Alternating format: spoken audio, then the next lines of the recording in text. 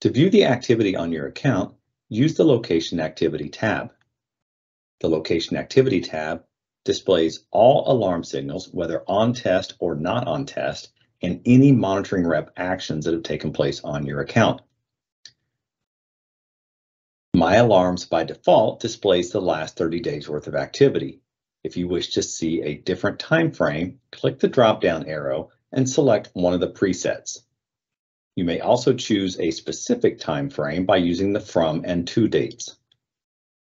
If you wish to eliminate the monitoring rep actions, you can click the box next to the show alarms only and you will see only the alarm signals that have come in, whether it was on test or not on test. To see the operator actions again, uncheck the box and they will be displayed.